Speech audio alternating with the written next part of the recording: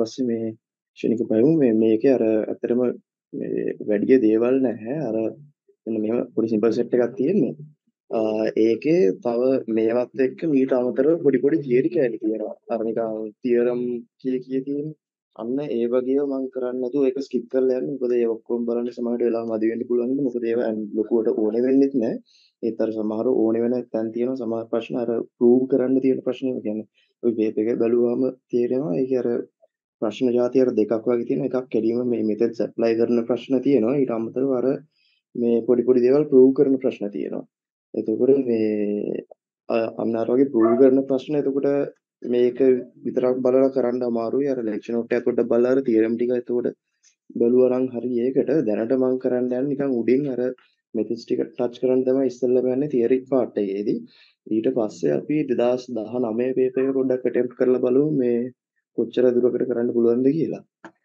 ඔය ටික තමයි තියෙන්නේ. එතකොට මේක සිංහලෙන් කරන්නද ටැමිල් කට්ටියම ඉන්නවද කොහොමද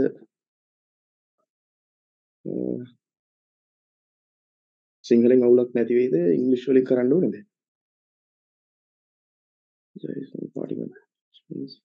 ඔක්කොම ඔක්කොම සිංහල කට්ටිය වගේ ඉන්නේ රාජසේකර හරි හරි හරි ඕකේ. හරි.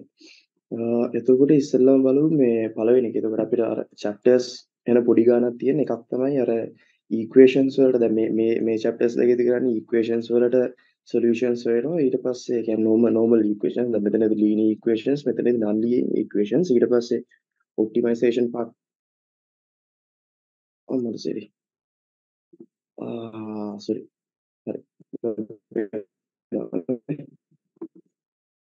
මේ එතකොට මේ පාර්ට්ස් තියෙනවා තමයි සුමාරි එතකොට සිම්පල් තියෙන්නේ පළවෙනි පළවෙනි දෙකේම තියෙන නිකන් normal මොනවාද equation system එකකට equations තියෙනවා දෙවෙනි එකේදී non linear equations ගැන කතා කරනවා ඊට පස්සේ එන්නේ වෙන optimization එතකොට ඒකේ මේ methods තුනක් තියෙනවා ඊට පස්සේ curve fitting එක ඊට පස්සේ තියෙන්නේ අර differential equation. දැන් මෙතනදී අපි කරේ අර නිකන්ම නිකන් system එකක් තියෙනකොට ඒකට මේ මොනවාද මේ මෙතනදී අර differential equations නෙමෙයි.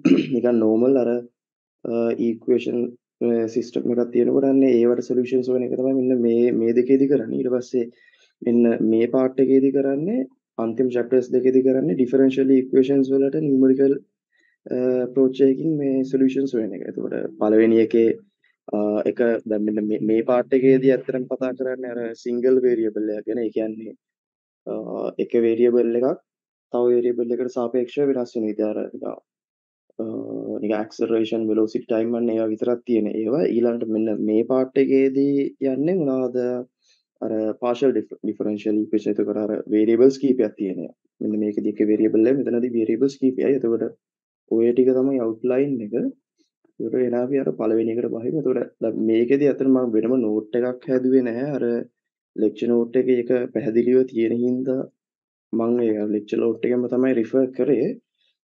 මේක ඉවරලා මම පුළුවන් වුණොත් අර මේකෙන්ම අරගෙන note එකක් share කරන්නම් එතකොට ඒක බලන්න පුළුවන් හින්දා. එතකොට පළවෙනි එකම ගත්තොත් අර හන්නේ මේ මෙතෙන්ට යනක වැඩේ පැහැදිලිනේ කොහොමද යන්නේ කියලා මොකක් කරේ ප්‍රශ්න තියෙනවද? වෙනස් වෙන්න මොනවා හරි ideas තියෙනවද? කොහොමද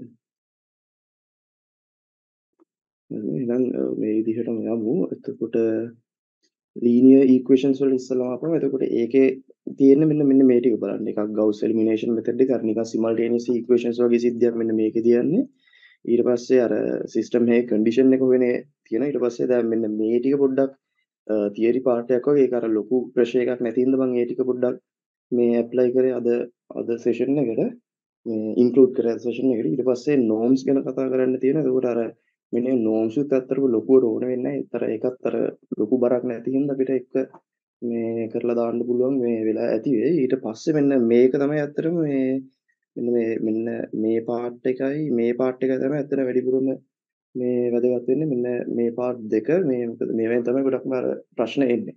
එතකොට මේ ඉටරේටිව් මෙතඩ්ස් වල ඇති දෙයක් නෑ. එකම අර නිකන් පොඩි පොඩි අර මේට්‍රිසස් කීපයක් කටපාඩම් කරගන්න තියෙන ඊට පස්සේ ඒක කෙලින්ම ඇප්ලයි කරන්න පුළුවන්.